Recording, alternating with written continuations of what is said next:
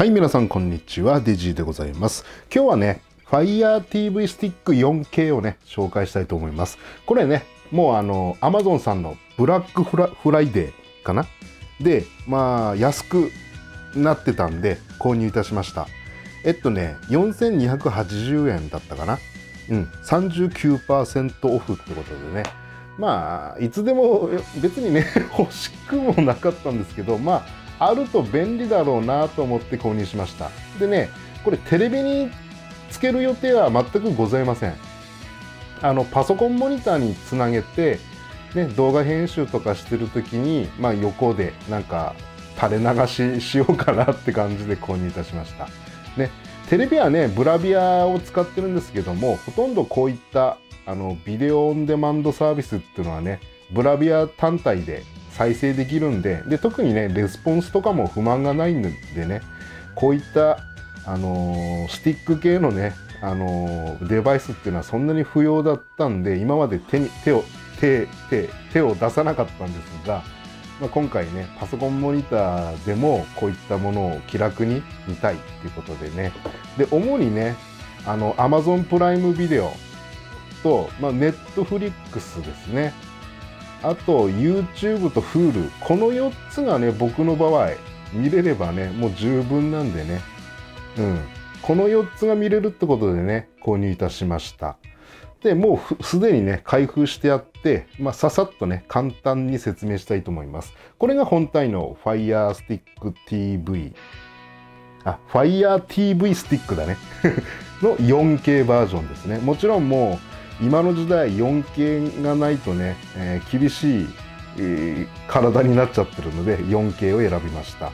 でこれが HDMI 端子ですね。ここにぶっ刺すと。でえーっとね横にねここにマイクロ USB 端子がありますがこれは電源です。これを付属のねこれをここに挿してつなげます。でもしもね直接この HDMI 端子が刺さらない場合はこういった延長の HDMI ケーブルがついてるんでここにね、H、あのディスプレイ側に挿して、えーこんな感じで挿すと。これで利用できます。あとはねアレクサにも対応しているリモコンですね。これがセット内容です。これで4000円台ってすごい安いよね。うん。まあそれではね実際にですねパソコンディスプレイパソコンモニターにですね接続して試してみたいと思います。はいそれではですね、えー、Fire TV スティック 4K をですねテレビにまあテレビと言いますか PC ディスプレイですねに取り付けましたんで、えー今画面を映し出したいと思います。はい。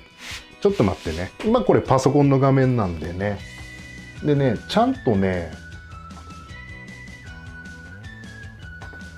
ちゃんとね、えーテレビの Fire TV スティック 4K のね設定でね、えーどんなテレビをご使用されてますかっていうう設定項目が初期設定で出てくるんですけどもそれでねちゃんとね BenQ っていうね メーカーが出てたのはね感動しましたね。はい。これがねホーム画面です。はい。まあ、コンテンツはねちょっと再生できませんけどももう非常にレスポンスもいいですし全然不満はないですね。こんな感じで動きます。でスピーカーに関してはですね Bluetooth に対応してますんで、えーまあ、えーまあ、テレビとかディスプレイ直接音を出すのもいいんですけどもやっぱりね、えー PC モニターのスピーカーってしょぼいじゃないですか。だからねちょっと画質は綺麗でも音がしょぼいとねちょっとがっかりするんで、えーね、それなりに、まあ、1万円前後の Bluetooth スピーカーだったらそれなりにね音質も良くなると思いますんでそこら辺もね、えー購入していただければなと思います。まあ、購入していただければなというか、まあ、おすすめですね。はい。まあ、テレビとか PC ディスプレイディスプレイの、えースピーカーがね、全然不満がないよって方はそのままでもいいと思いますけどもね。はい。で設定とかでねまあいろいろ設定できますんでこんな感じね。設定してください。でアレクサにもね対応してるんで、えー、アレクサ代わりとしてもいいと思います。はいこんな感じですね。はい、でレスポンス先ほども言いましたけどももう全く問題ございません。何よりねこれこのねリモコンが思いのほか使いやすいです。うん。大概ねこういったリモコンってね使いにくいんですよ。あのアップルさんのね AppleTV のリモコンなんてめちゃくちゃ使いにくかったんですけども Amazon さんのこの FireTV スティックのねリモコンはね結構使いやすいですよ、うん、これは意外だった。うん。はい。でねあのー、私の場合はね、あのー、トリプルディスプレイ。を使ってまして、えーね、どうしてもね全てのディスプレイが必要じゃない時があるんですよね。そういう時に、こっちで、ちょっと待ってくださいね。こっちで作業。